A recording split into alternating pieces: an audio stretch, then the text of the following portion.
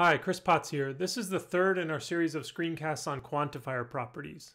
Part 1 reviewed some core concepts and some hopefully not too controversial determiner meanings, and Part 2 was focused on lexical uncertainty and context dependence.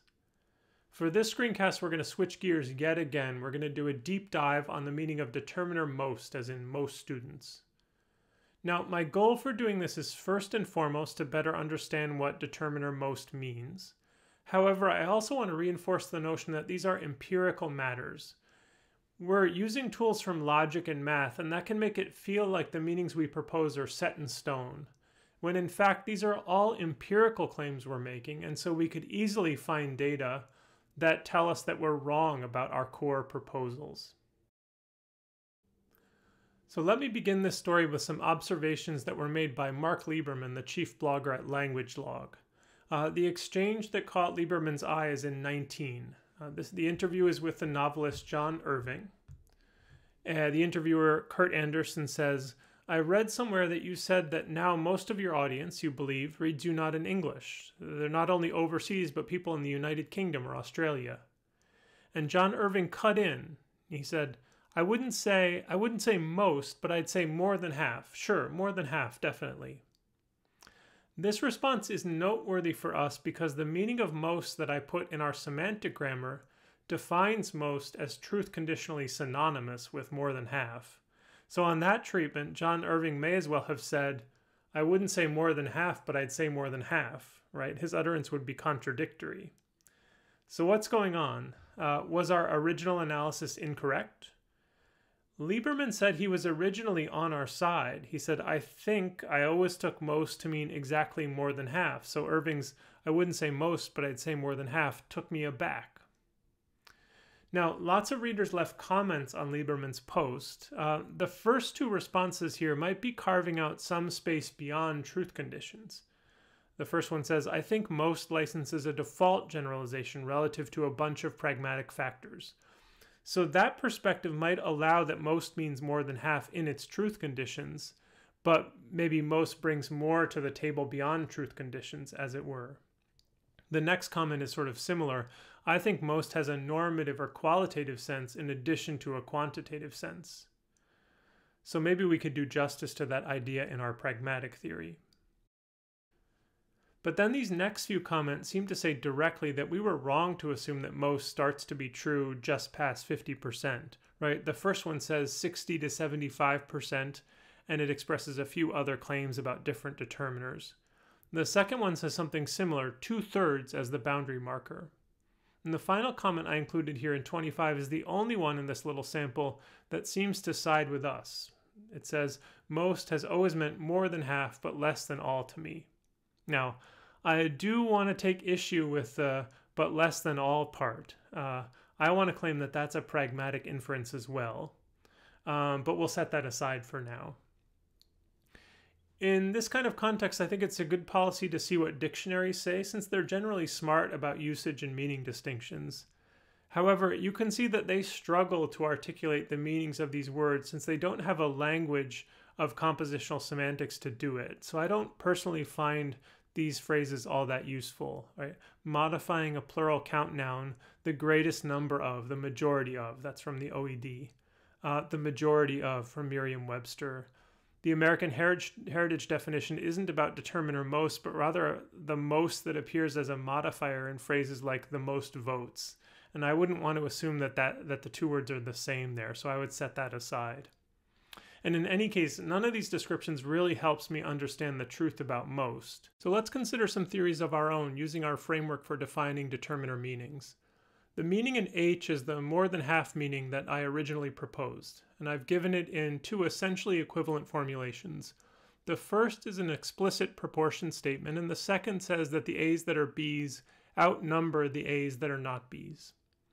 The second one is the one that you see in the Keenan article in his 4F, and I'd say these two formulations are identical except where A has no entities in it. In that case, the division in the first version would be undefined due to a divide by zero cardinality problem, whereas the second would come out straightforwardly false. So we can mostly set that aside, although the issue of what happens when the restriction to a determiner is empty is an interesting one that we'll try to understand through the lens of our pragmatic theory later in the quarter. In GH, we have a version that's meaningfully different yet again. This is perhaps what the language log commenters were proposing. It's a context-dependent meaning because it has this free variable k in it, and we just say that as a matter of informal loose convention, people expect K to be way larger than 50%.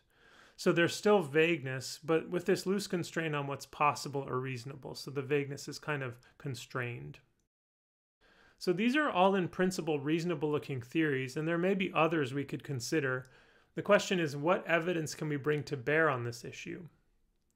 Liberman began with a corpus study using the web. He simply searched for most star percent, where the star is a wildcard that search engines like Google will fill in with a word or perhaps a short phrase.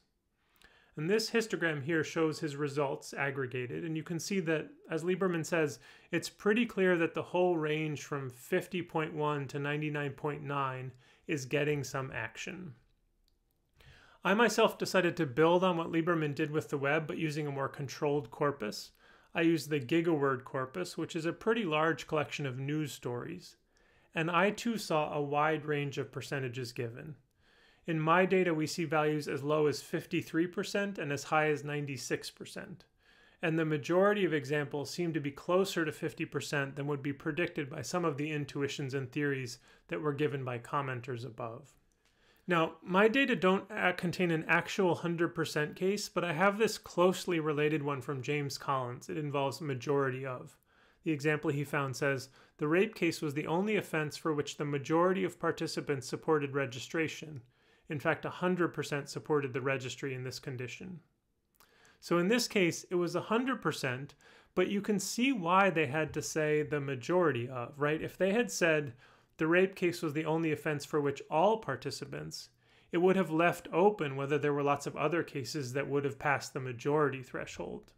So they had to say majority to establish the stronger claim, and then they gave the 100% information to add on to that. I think this example would be fine if we used most participants instead of the majority of participants, and so that's a little bit of evidence that most is consistent with all, even though in general, in most situations, if you can say all, you shouldn't choose the weaker form most. That's a pragmatic interaction. One quirk of my data is that there are actually three examples where the percentage cited is below 50%. For example, in 30, we have most homes, 39%, have a separate room where the PC is. Now, my hypothesis is that in these cases there is an implicit restriction at work here. For example, I bet that in 30, we first restricted to cases where the home contained a computer at all, and within that group, more than 50% were probably uh, in a separate room. But they only had stats for the full set of homes surveyed, and so they gave us that stat, which was 39%. I might be wrong, but otherwise, I think these examples are very confusing to me. So I'm going to stick with that theory for now. One final note about Liberman's post he ended it with a lot of nice citations to work on most. So if you're contemplating possibly maybe doing something in this area for a final project, do check out what he lists there. I can't remember precisely, but that may have been where I first learned about the paper I want to touch on next, Pietroski, Lidz, Hunter, and Halberda, The Meaning of Most, Semantics, Numerosity, and Psychology. One of their experiments was the inspiration, let's say, for the in-class experiment we did with items that look like those in the figure that you see here. I find this paper really interesting and provocative. On my reading, they're sort of assuming that our more than half meaning is essentially correct, and they're wondering about how that theory is actually implemented in a kind of computational theory of the mind. That is, we can, we can ask, what verification strategies do people use for these sentences? And what can they tell us about their knowledge of language in Jackendoff's sense? Or in our terms, what function do people actually run when they use the determiner most? For these authors, they propose that speakers actually calculate and then compare the cardinalities of two sets using what they call an approximate number system. That is, we don't evaluate these claims via explicit counting, but rather by using more fundamental methods for approximate comparisons of the magnitudes of different sets of objects. One of their modes of testing this was very much like our in-class experiment, but it was done in the lab. So they presented people with displays like these, but just for 200 milliseconds. And they asked them to say yes or no to brief statements like most of the dots are blue. Now, they chose 200 milliseconds because it should be fast enough for people to reliably register the visual scene, but it's too fast for people to actually count in any exact way. So you have to fall back on some kind of more approximate, more basic um, estimation strategy. So let's go on to their findings. As you might expect, the rate of correct responses goes down as the ratio of yellow to blue dots gets smaller. Of course, we should keep in mind that correct here might be too strong. This is the sense in which they seem to be assuming that the more than half analysis is correct, right? Some of these correct labels might be actually disputed by the language log commentators that I cited earlier. However, even if we set that aside, we can see that accuracy goes way up for all the ratios for experimental conditions in which the display allows for some fast comparison strategies like the aligned ones that you see here. For example, the highest accuracy ones are the column pairs sorted items, like this last display here. And even where the ratio is very close, as in this example, almost everyone says most dots are yellow is true. So that's support in a way for the more than half analysis. It's like saying if we strip away all aspects of communication and just focus on the fast judgments that people are making about truth, we seem to see evidence for our hypothesis H. And our in-class experiment corroborates these findings. Recall that I read a sentence while displaying it, then showed a display for three seconds, and then we went to a rest screen where you did your actual evaluation. So for example, when we did this first item here, it was like, I said, question one, some of the dots are blue. Now, I had to show the display for much longer than 200 seconds to account for lags in the network and so forth, so it might be that some of you could do some actual counting, and that would obviously be a big problem for the paper's hypotheses about the approximate number system. But I think it doesn't compromise our primary goal of seeing what people do when the percentages are near 50%. So let's move on to the items from the experiment. Uh, some dots are blue seems very systematic. Most dots are yellow is more mixed, consistent with what we'd expect for this complex and muddled display. A dot is yellow, no surprises there. It's false, and essentially everyone saw that. Same for every dot is yellow. People spotted the blue dot, it seems. So that's reassuring about the display mode here. Uh, a dot is blue. I thought we might see some interference between the singular a dot and the abundance of blue dots, but it seems like that didn't really get in the way of people saying true for this item. Next we have our second difficult to parse display. This one should be a bit easier than item 2 because you can see that most of the blue and yellow dots are paired up with just a few lonely yellow dots. So if you focus on the lonely ones, you can make a fast judgment. Still, I'm surprised that the rate of true, dare I say correct responses, is so high for this case. Next we have two sort of cooldown items. No dots are blue is clearly false and most dots are blue is clearly true. And finally, we have two critical items.